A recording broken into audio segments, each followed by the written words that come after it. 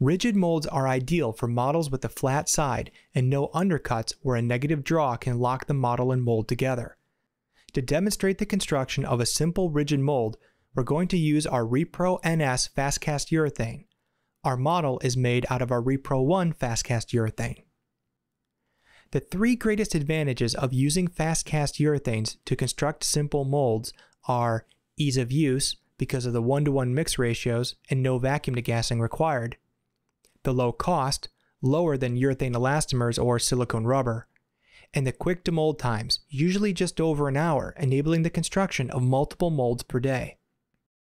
Our mold board is made of MDO plywood, and our mold frame is made of sugar pine glued and nailed together. We purposely did not seal or release the mold frame so that the repro will adhere to the mold frame. Here we screw our mold frame onto the mold board. The model is then bolted down onto the mold board. Since the model fits flat onto the mold board, we did not need to apply any clay around the edges. When constructing rigid molds, proper sealing and releasing is very important. We have already applied two coats of wooden plaster sealer, and here we are applying our second coat of wax release. We were careful to apply this to the detailed areas first, and then immediately buff those areas to avoid buildup before moving on to the less detailed areas. Next, we apply our two coats of PVA, and then a final coat of wax release.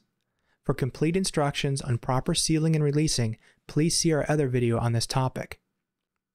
We are going to use Repro NS non-settling fast-cast urethane as our mold material. This material requires no mechanical agitation prior to use. Simply stir each side with a paint paddle and it is ready to go.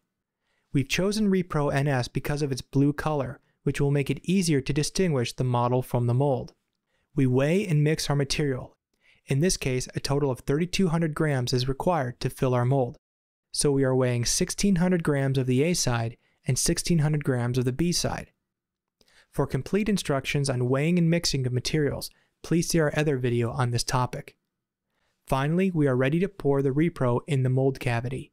Notice how the thin viscosity allows for easy pouring, even into the highly detailed areas without entrapping air.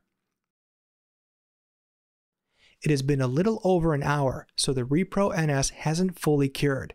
In fact, it is still a little warm and very slightly flexible. This is the ideal time to demold, since the material will give a little during the process. We remove the screws holding the mold frame to the mold board. Then we use wedges to slowly and evenly separate the mold from the mold board. Next, we clean off the PVA mold release with a damp paper towel. Now that we have our mold, we must apply our release agents so that the parts do not stick to the mold. However, since we are pouring a urethane into a urethane, the release procedure is different than the standard two coats of wax, two coats of PVA, and one coat of wax. Here we will only apply three coats of wax, buffing after each application. For more detailed information on sealing and releasing, please see our other video on this topic. Here we are setting our support bars above the mold. The nuts attached to the bolts will serve as aids in the demolding process.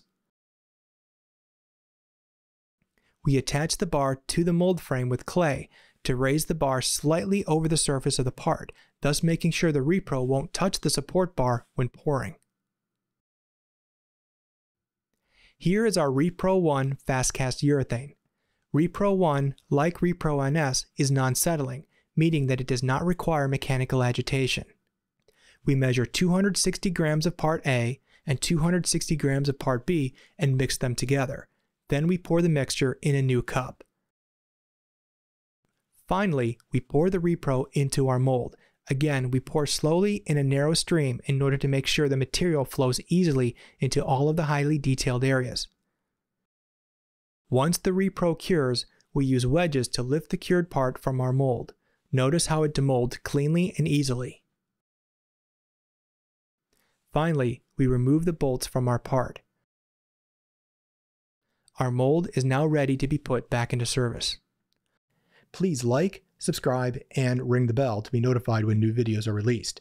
This particular video is part of a much larger set of videos, originally released as a DVD, but now available in our extensive online video library, which you can view for free at freemanvideos.com.